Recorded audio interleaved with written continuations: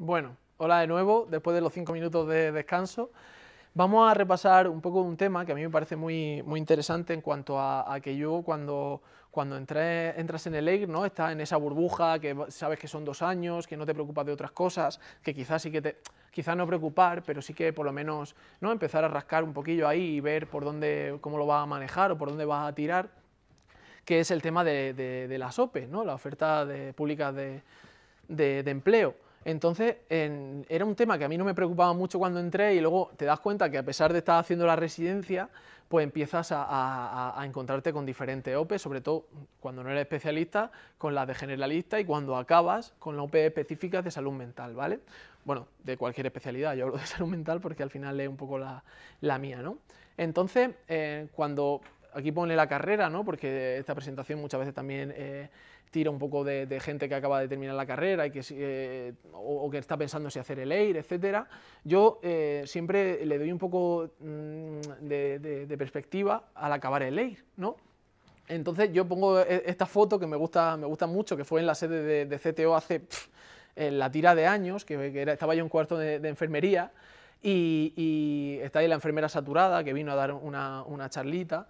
Y, entonces como que ahí me cambió un poco la perspectiva de lo que iba a hacer, de, yo tenía pensado unas cuantas cosas en la cabeza, aparte de lo que he dicho antes de lo de las prácticas, pero el tema de lo de leer ya me llamó la atención, se me encendió la bombillita y ya pues he tirado, he tirado un poquillo por ahí. Y lo bueno es que vosotras habéis hecho un poco ese, camino y habéis elegido el camino de leer y, el camino de la especialidad.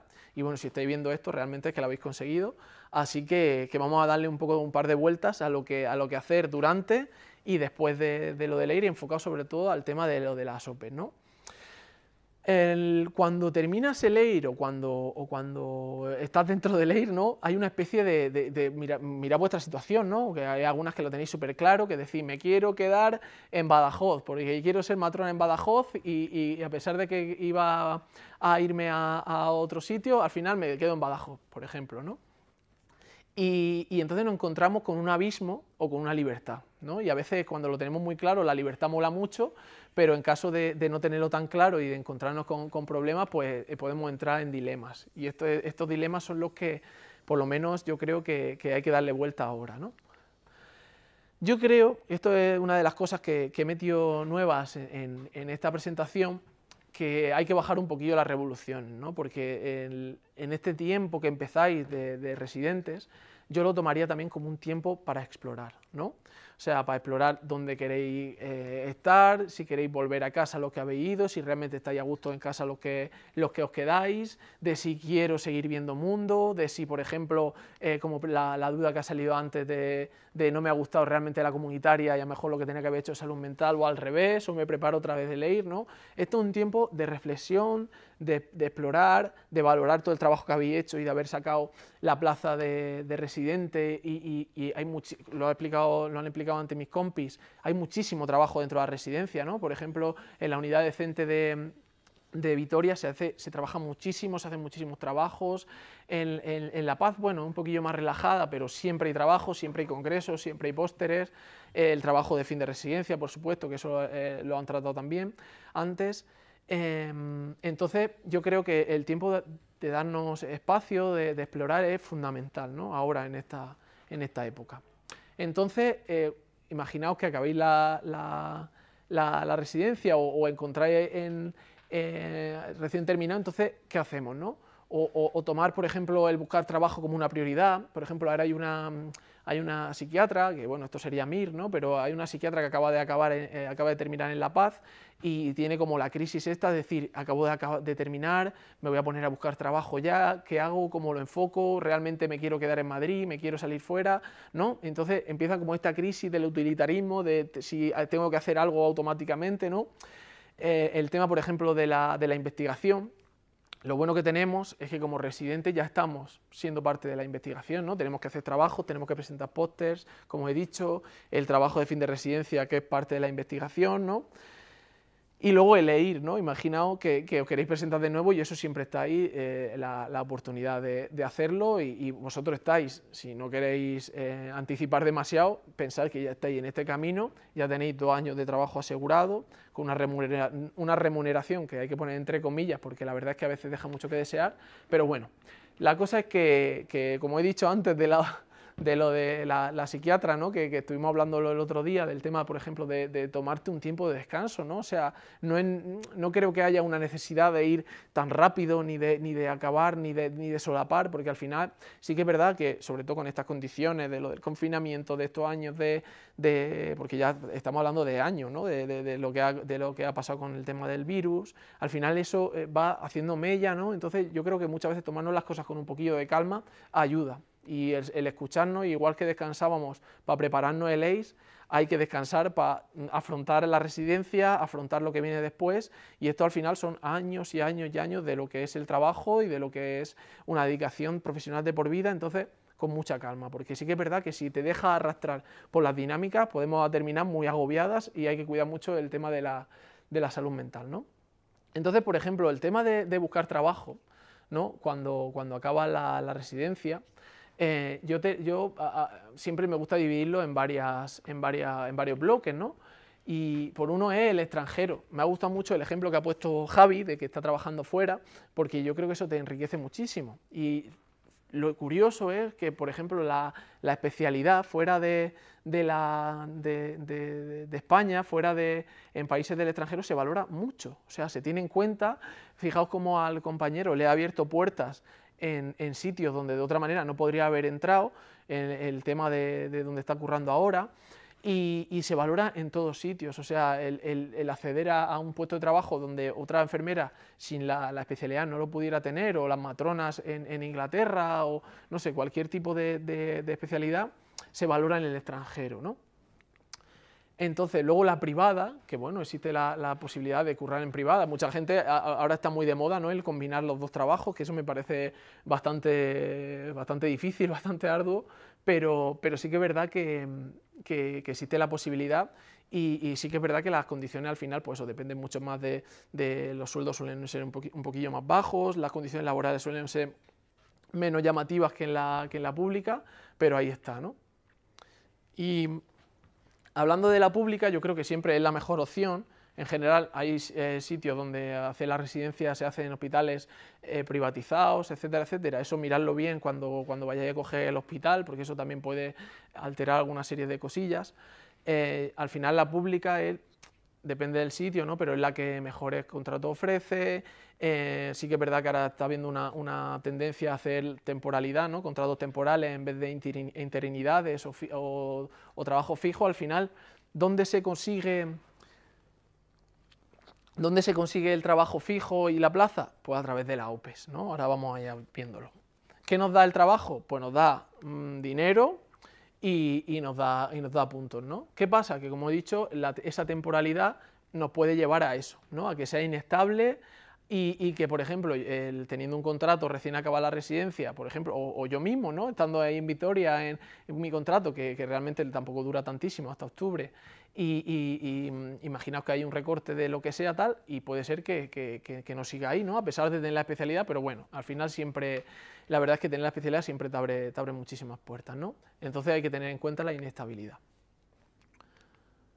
Entonces el máster, como he dicho, la investigación eh, es una parte fundamental de la enfermería y nosotras como, residentes ya estamos siendo parte de eso, ¿no? de, la investigación y de, lo que es un máster. Sí que es verdad que muchas veces ahora hay el, tema del, por ejemplo, el interés de, hacer el máster eh, para solamente el tema de los puntos o tema de, o, porque realmente nos gusta mucho el tema del que versa el máster, por ejemplo, eh, no sé, eh, hay una compañera que, que, estando ahora en salud mental lo ha hecho sobre la sexualidad, sobre sexología y tiene una, domina, una un factor, por ejemplo, que no se tiene, un patrón que no se tiene mucho en, cuenta y haciendo ese máster te da otra visión y te sirve para enriquecerte, ¿no?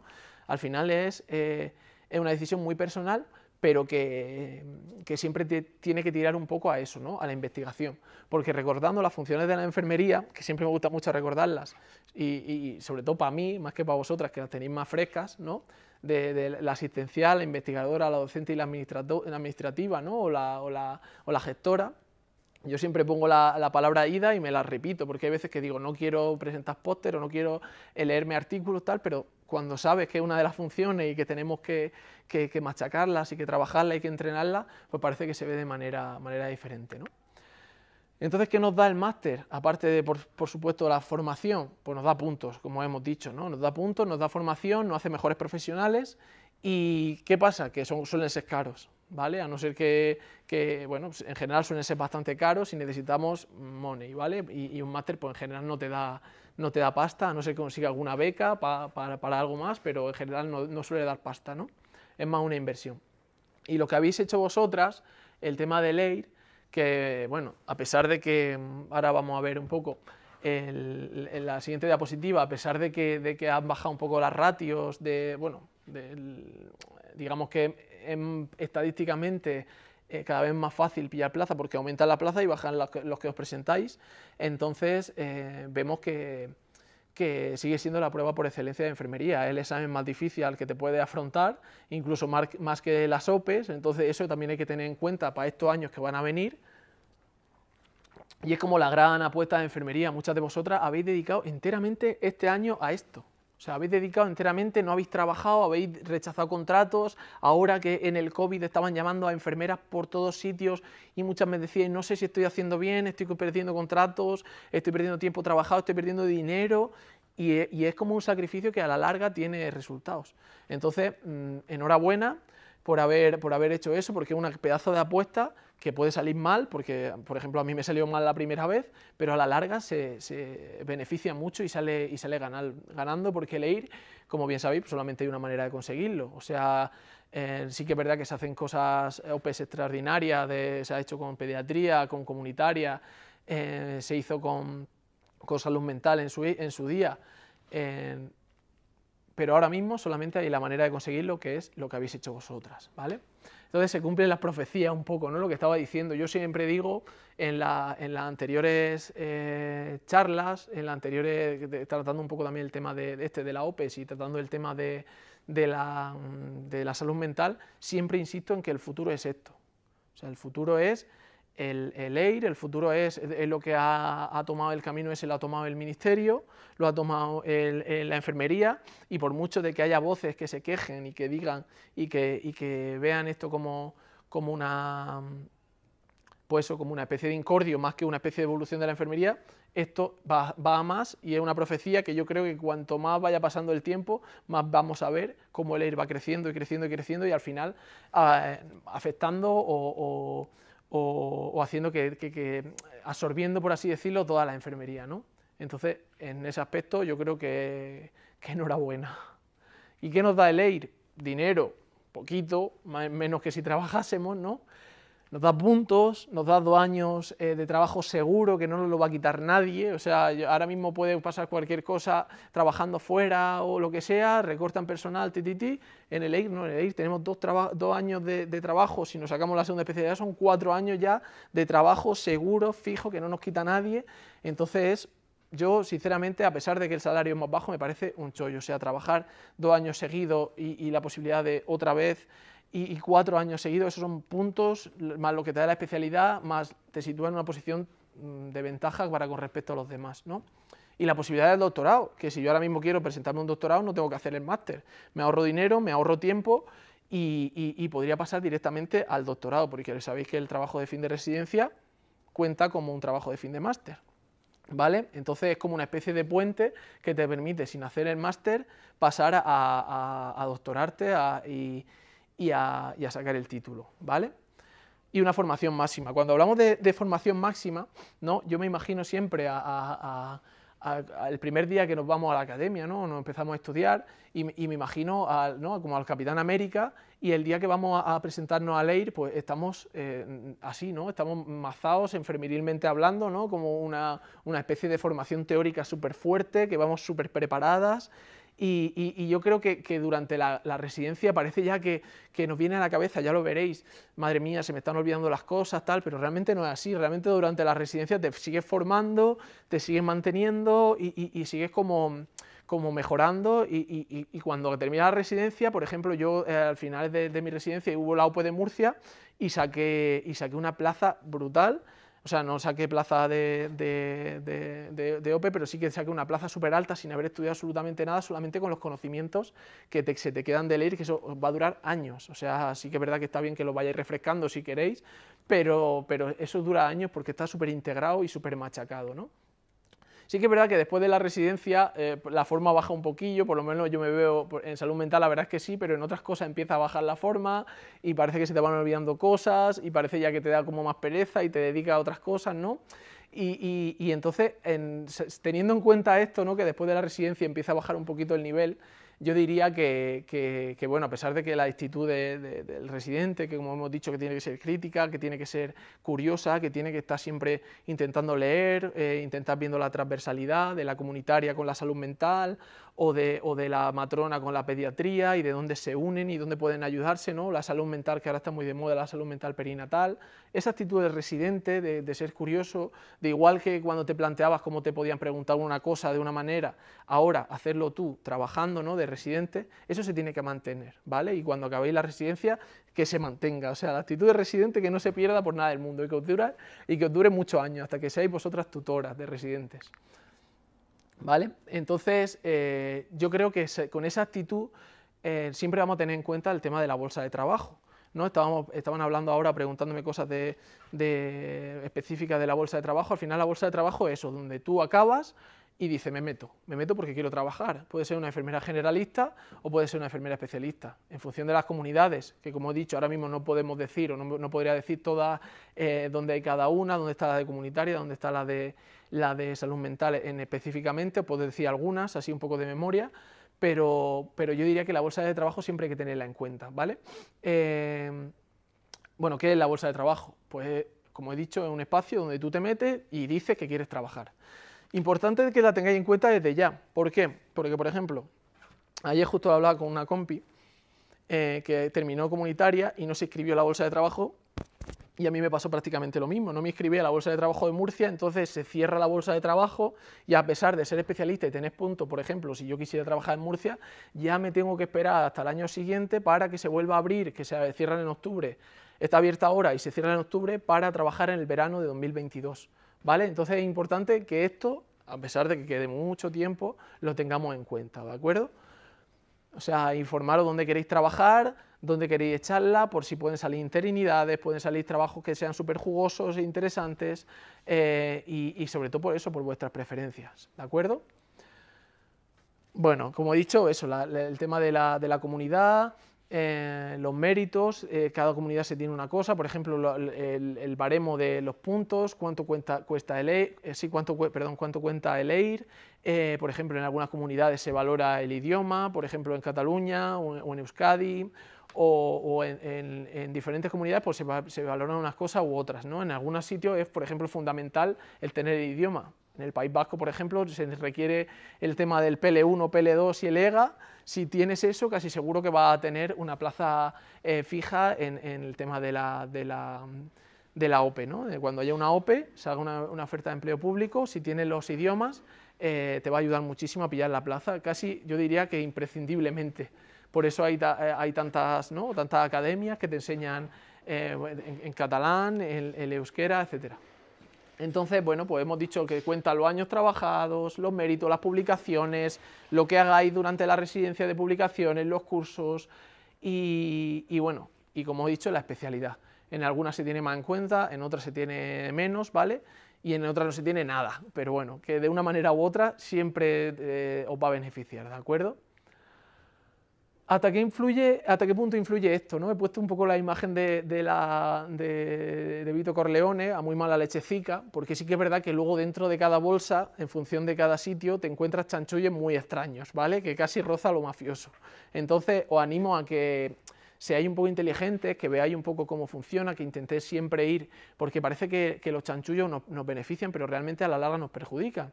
Eh, por ejemplo, en la Bolsa de Murcia funciona súper bien y es como súper estricta con el tema de puntos. El tema de, de a dedo también implica que, tú de una manera u otra tengas pues bueno, algún tipo de, favoritismo o de favor ¿no? con, la persona que te, que te, ha elegido, ¿no? Entonces eso hay que tenerlo muy en cuenta, ¿vale? Y, y, yo creo que la seriedad en el tema de la bolsa y de la contratación, etcétera, es muy importante porque si no, eh, a la larga nos puedes perjudicar, ¿vale? Entonces, pues eso, se llama para trabajar, os van a llamar, por ejemplo, en estos dos años que estéis de, si no os dais de baja en lo de, en lo de la bolsa, eh, os van a llamar a trabajar, os van a seguir llamando. Eh, tened en cuenta que cuando seáis residentes, eh, tenéis la posibilidad de decir que están haciendo la residencia y no tienen por qué sancionaros, ¿de acuerdo? Os pueden paralizar en la bolsa y, realmente si os paralizáis en la bolsa, os dais de baja y sois residentes, eso se os va a mantener el tiempo. Yo, por ejemplo, en la bolsa de Murcia me llamaron cuando era residente, dije que era residente y no me han perjudicado ni me han eh, sancionado ni absolutamente nada de nada. En Madrid igual, me llamaron el, para, el 12, para el 12 de octubre cuando era residente y me, me pararon, no me han sancionado y sigo como dado de baja en la bolsa sin ningún tipo de sanción, que yo creo que eso es como una especie de, de, muelle interesante, ¿no? de, amortiguación para cuando termine la residencia y, y, puedas, ¿vale?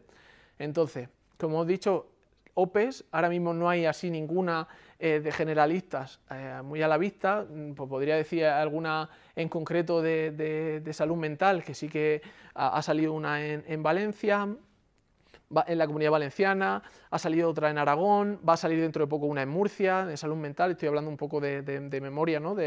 sobre todo un tema que me interesa mucho. Y, bueno, sí que es verdad que es difícil. Al principio, cuando no tienes casi mérito, las plazas que saquen son muy poquitas, pero yo creo que la pregunta, la pregunta eh, y bueno, y la actitud, aparte de, por supuesto, ser un experto en OPEs y formarnos un montón, no perder la práctica, intentar... Eh, tener la curiosidad, por supuesto no vayáis a estudiar igual que cuando estabais estudiando de leer, porque eso sería, una, sería imposible, o sea, no, no, no, se puede pedir eso, porque encima tenéis todo lo de la residencia, que eso ocupa un montón.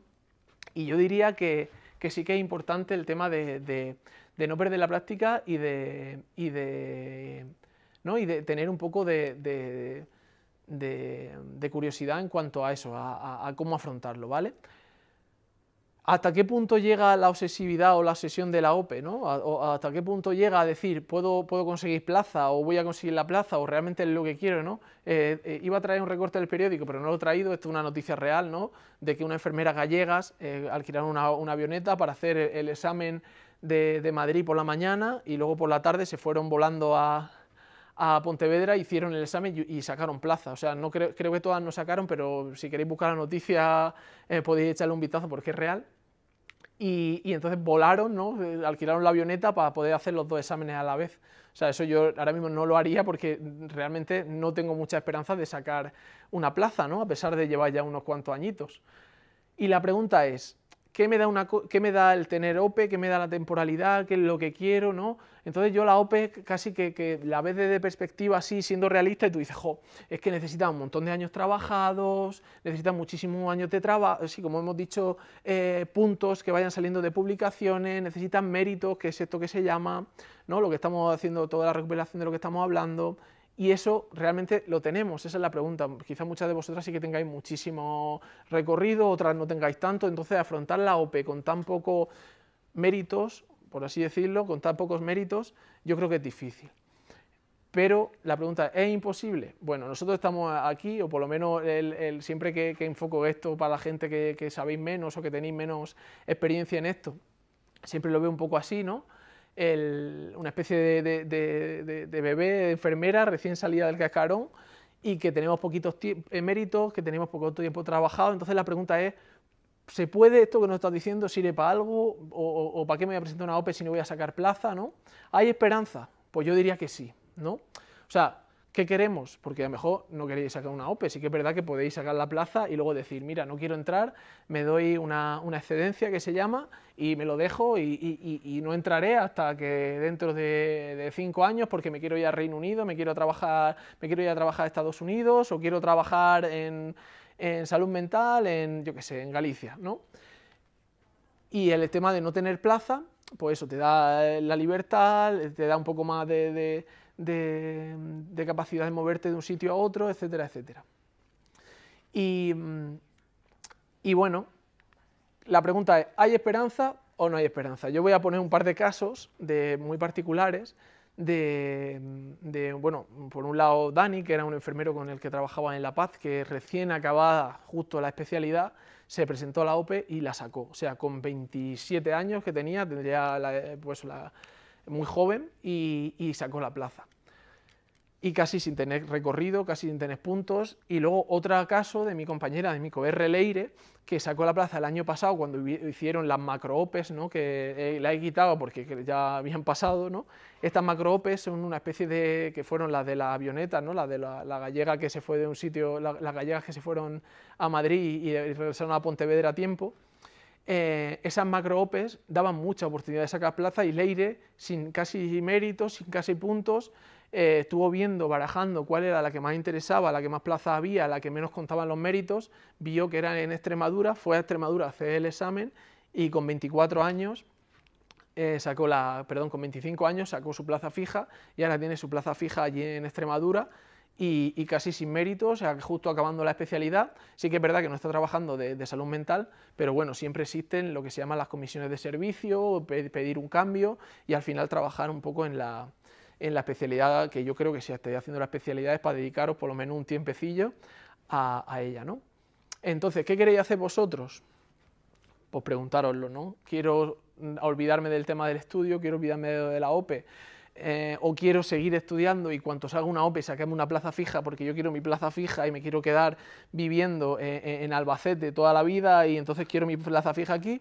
Entonces, mucha calma, he empezado la presentación diciendo que sí que es verdad que tenemos que tener un poco de, curiosidad y de, no perder esa actitud, pero tener la calma y, calmarnos un poco, ¿vale? Eh, como dice Squirtle, y, tomarlo con, mucha tranquilidad, porque sí que es verdad que hemos venido de un periodo súper difícil con lo del COVID, sí que es verdad que estos temas están muy paralizados porque administrativamente y, el tema de, ministerialmente, etcétera, etcétera, esto al final eh, está muy, muy tocado por, temas como lo del COVID, ¿vale? Entonces yo creo que tomarlo con calma siempre, siempre es una buena idea, pero que no lo dejéis, ¿vale? Mucha calma, disfrutad muchísimo de la, de la residencia, disfrutad muchísimo de lo que habéis conseguido, pero estos temas que siempre lo tengáis ahí, listo para cuando salga una OPE apuntaros, si tenéis que apuntaros simplemente para ver cómo es, eh, o para practicar o para ver las preguntas que caen, para ver que son más fáciles que la de leer muchas veces, que la OPE son bastante más fáciles que la de leer y que, oye, si suena la flauta y sacamos la plaza o sacáis la plaza eh, eh, habiendo casi o, llevado estudiado lo de leer y nada más, pues mira, sería una cosa que, bueno, yo creo que siempre viene bien tener una plaza fija, aunque no la disfrutéis o la dejéis un poco ahí en, en excedencia, yo creo que siempre viene bien. Así que nada, que os animo a, que no perdáis la costumbre de estudiar y, que mantengáis lo de la OPE y, nada, enhorabuena por lo conseguido otra vez, una vez más. Genial, Juanmi. Eh, hay un par de preguntitas por aquí. En referencia a lo del máster, Thais dijo esta mañana que el máster, si es oficial, no se puede compaginar con el EIR. Pero yo he conocido a un residente que estaba haciéndolo al mismo tiempo. ¿Se puede? A ver, os cuento un poquillo. El mira, el, tema de, la oficialidad y de, compaginar, eso cogerlo mucho con pinzas, ¿vale? Yo no realicé ningún máster cuando estaba haciendo la residencia, pero sí que es verdad que si veis, por ejemplo, a los médicos, a los psiquiatras y, a los psicólogos, por ejemplo, hay, una, como una tradición de que hacen la especialidad y de que se apuntan a un máster. Asegurarlo bien, ¿vale? Ve el, máster, ve lo del título oficial, depende mucho, ¿vale? Depende un poco de la unidad formativa, en teoría mm, no, pero en muchas ocasiones se hace, ¿vale?